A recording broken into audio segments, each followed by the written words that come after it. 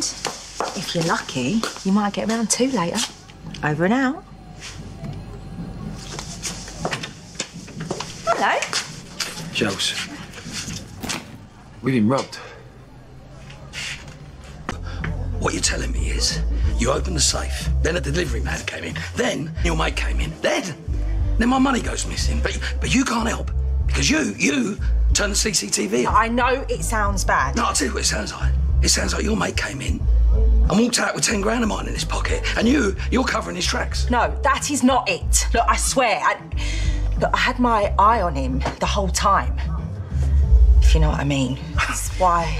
That's why I had the cameras off.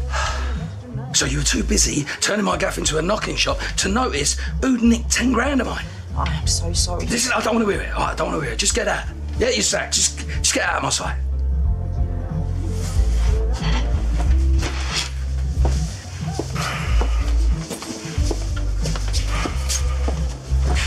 Listen, Phil, for what it's worth, I don't think it was her.